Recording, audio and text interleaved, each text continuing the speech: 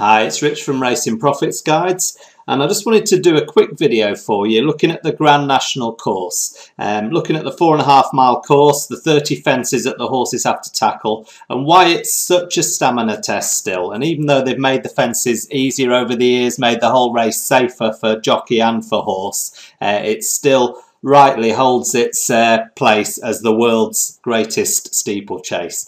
Uh, it really is a stamina test, four and a half miles, as I say, 30 fences to negotiate in the two circuits round the Aintree track. And I thought it'd be useful just to have a look at some of the key fences and some of the key places where some of the accidents happen in the race and why it's still such a great course. So let's get started.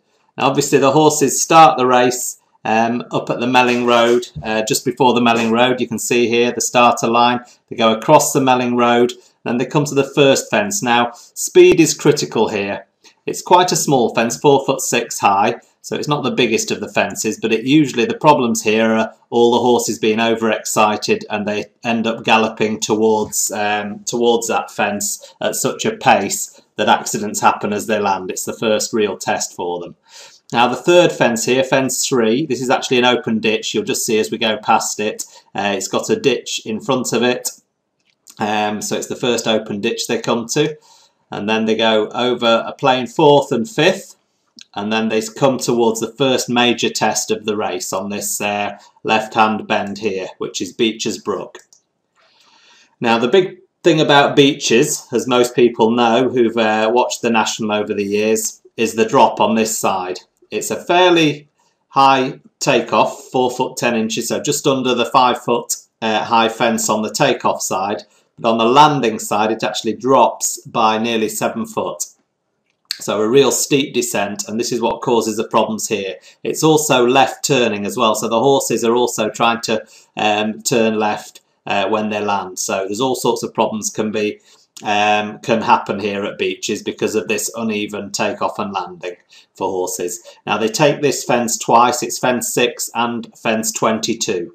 So again, they've got this uh, this fence to negotiate twice, and certainly on the second time round, when they're all getting tired, it can cause even more mayhem.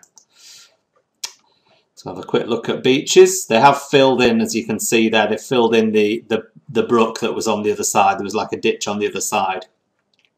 Now they come sweeping round here towards the canal turn. Now the big thing about the canal turn is obviously it's a big fence at five foot high, but then they turn 90 degrees down here. So they're going to be landing, the horses are landing, and a lot of them, what they'll do is come out wide here and cut this corner. You'll see them come over this corner at an angle so that they're landing and going in towards um, towards the next fence which is Valentine's Brook just ahead here. But uh, the big, the tricky thing here obviously is this 90 degrees. You can see on the map down here, it's a 90 degree bend here. And what a lot of the jockeys will do is come out wide and then cut. Certainly on the second circuit, you'll see a lot of them cut, cut this corner um, to get a good sighter ready for Valentine's Brook ahead. Um, so we'll just sweep round here and then down the back side here over fence 9 again this is Valentine's Brook. As you can see there's a two foot uh, brook on this side of it and it's another five foot high so another fairly tall fence um, with the ditch on the other side of it a two foot wide ditch to clear on the other side of it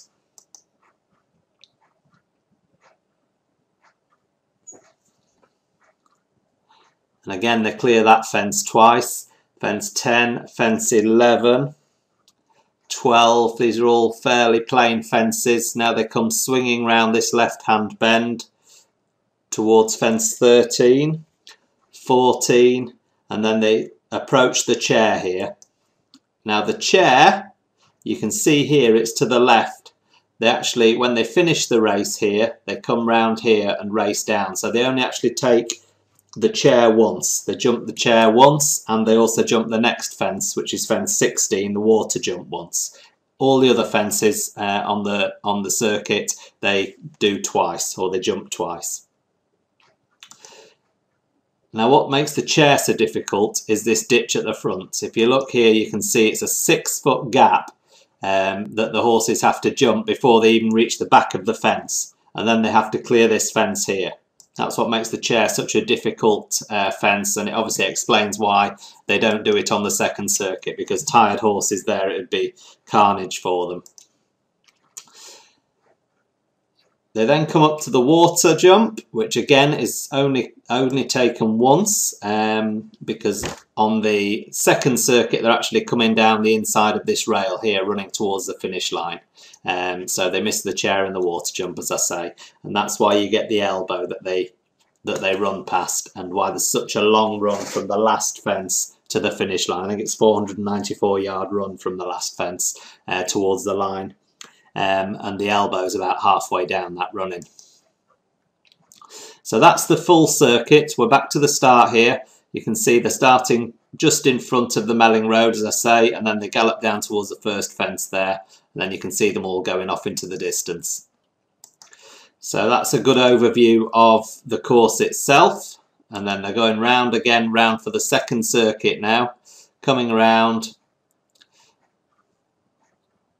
over that last fence. And then once they clear that they come to the elbow here where they go past Becher's Brook and there's a 494 yards I say running. Um, and you do see tired horses getting caught here. Um, I remember uh, a year ago or a couple of years ago uh, Sunnyhillboy got to the elbow, looked like he'd won the race, and he got caught uh, literally on the line.